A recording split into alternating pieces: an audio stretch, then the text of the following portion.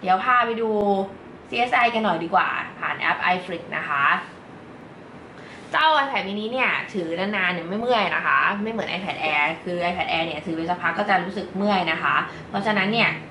มันก็เลยเหมาะกับการดูซีรีส์ ดูหนัง ดูอะไรอย่างนี้มากๆค่ะเปิด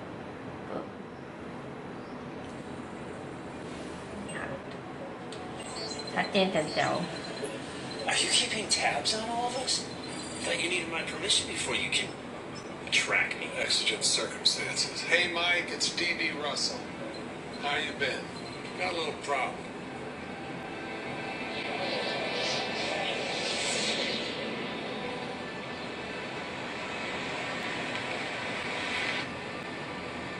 ดูหนังเพลินเลยนะคะ จริงๆค่ะ ทีนี้มาดูหนังผ่านอีกแอปหนึ่งนะคะ คือพามทามนั่นเองพามทามนี่ก็จะมีหนังไทยนะคะ ให้ดูหลายหนังหลายเรื่องเหมือนกันค่ะนี่มาดูเรื่องไอไฟกันนะคะซินเดอเรลล่าซับง่ายของเด็กโคตรตุ๊ดเลยไอ้ตุ๊ดเตะกาเนอะแมวเอาไอ้นี่ดีกว่าดอลฟินเนี่ย Excuse me. You speak English? Can you? Can you?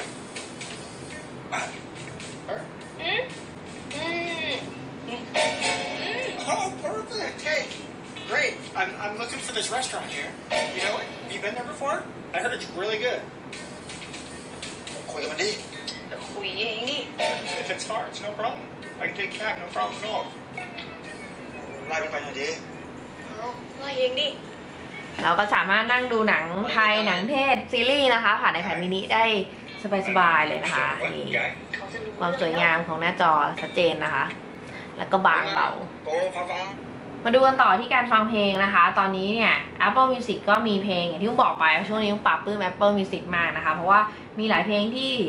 เป็นเพลงใหม่ๆนะคะ แล้วก็เพลงดีๆเนี่ยอยู่เยอะมากเลย เราสามารถที่จะใช้ Account Apple ID ของเรานะคะ ในการ Access เข้าไปใช้ฟรีได้ 3 เดือนนะคะ แล้วก็มันก็จะมีเพลงใหม่ๆ พวกนี้เนี่ยให้เรา ให้เราฟังนะคะ แล้วก็สามารถที่จะ ฟังมาได้เรื่อยๆเลย รวมทั้งมีเรดิโอนะคะ สมมติลุงชอบเพลงนี้เนี่ยลุงก็สามารถที่จะ add to playlist ได้เช่นกันนะคะค่ะอะไรประมาณนี้คือหลังจากที่ add to playlist แล้วนะคะ เราก็สามารถที่จะดึงมาเก็บไว้ที่เครื่องเลย โดยที่แบบฟังออฟไลน์ได้นะคะ อันนี้ก็เป็นจุดดีที่ไม่ต้องใช้เน็ตตลอดเวลา เดี๋ยว Apple Music เนี่ยอุ้มมารีวิวให้ดูกันอีกทีหนึ่งนะคะ เดี๋ยวมีเวลาแล้วมาพูดให้ฟังแน่นอนค่ะ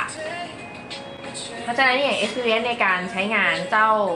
iPad mini 4 เนี่ย ค่อนข้างครบเครื่องนะคะ รวมทั้งถ้าเราอยากจะใช้งานพวก Page Manager PowerPoint Word นะคะ หรือว่าอ่านข่าวผ่าน Flipboard ก็ใช้งานได้อย่างดีนะคะ แต่เวลาเราเขียนรีวิวอาจจะเขียนผ่านเพจพวกนี้นะคะ เราก็สามารถที่จะมานั่งเขียนรีวิวได้นะคะ แต่ว่าส่วนตัวแล้วอุ้มไม่ค่อยชอบการพิมพ์ผ่านผ่านทัชสกรีนสักเท่าไหร่ คือเวลาถ้าพิมพ์เยอะๆเนี่ย พิมพ์ผ่านทัชสกรีนเนี่ย ส่วนตัวคือยังไม่ถนัดนะคะ แต่ว่า เวลาเอาไปใช้งานนอกสถานที่เนี่ย มันก็จะดีกว่าเอา macbook ไปแน่นอนค่ะ เพราะว่าพกพาสะดวกกว่าง่ายกว่าเยอะนะคะ อีกเรื่องหนึ่งนะคะคือเรื่องของกล้องค่ะ กล้องหน้านะคะ เจ้าตัวนี้เนี่ยอยู่ที่ 1.2 ล้านนะคะ เหมือน iPhone 6 นะคะ แล้วก็กล้องหลังเนี่ยอยู่ที่ 8 ล้านค่ะ เหมือน iPhone 6 เช่นเดียวกัน ก็เรื่องของกล้องเนี่ย มันก็เป็นสไตล์กล้อง iPhone นะคะ แต่ว่าส่วนใหญ่อุ้มว่าซื้อ iPad ไปก็ไม่ค่อยได้ใช้งานกล้องกันสักเท่าไหร่นะคะ วันนี้นะคะอุ้มก็ฝาก iPad mini 4 ไว้ประมาณนี้นะคะ คือใครที่ชอบเล่นเกม ชอบดูหนังนะคะ ชอบอพิมพ์งาน present งานผ่าน iPad นะคะ เข้าเว็บไซต์ ฟังเพลง หรือว่าดู YouTube อะไรอย่างนี้นะคะ แล้วก็สามารถเล่นไลน์ ใน account เดียวกันคู่กับมือถือได้แล้วด้วยนะคะ หรือว่าจะเป็นการใช้งานอื่นๆที่เหมาะสมกับเจ้า iPad mini เนี่ยอุ้มว่าเป็นตัวเลือกที่ดีมากๆเลยนะคะสำหรับอุ้ม คือมันสามารถที่จะใช้งานได้อย่าง smooth ขึ้นเยอะมาก นี่คือจุดเด่นของมันนะคะ พอมันใช้งานได้ smooth มากขึ้นเนี่ย เราก็จะรู้สึกแบบ happy ที่จะถือมันมากขึ้นนะคะ แล้วก็ด้วยความที่บางลงนะคะ เบาลงก็สามารถใช้งานได้อย่างง่ายดายมากขึ้นค่ะ วันนี้ก็ฝาก iPad mini 4 ไว้เท่านี้นะคะ แล้วก็เดี๋ยวถ้ามีโอกาสเนี่ย iPad Pro เนี่ย ถ้ามีปัญญาซื้อ เดี๋ยวจะซื้อมารีวิวให้ดูกันนะคะ แล้วก็อ่าอุ้ฝากรีวิวอื่นๆด้วยหลังจากนี้ค่ะ